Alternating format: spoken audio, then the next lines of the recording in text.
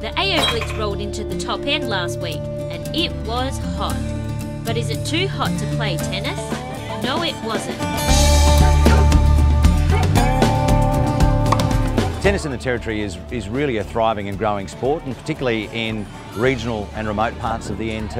And I think we're starting to see some really positive growth here in, uh, in the top end. It's a game you can take with you for life, and I think a lot of people, a lot of parents are recognising that, encouraging their kids to get into it at an early age. So, look, it's a wonderful game, and uh, it's certainly being recognised here in, uh, in the Territory as, as one of the best.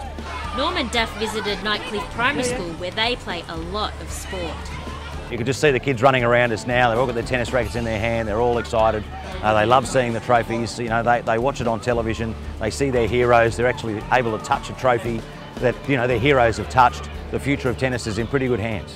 Having a good PE program is essential. It's something a lot of kids who aren't academic is the one thing they can hang their hat on. So having that gives them some self-esteem, part of our school culture too. So does the hot weather make the top end hot competitors in the AO Blitz? Mean, we've got sunshine here all year round, so um, a lot of people are always playing sport, so I reckon we'll go right.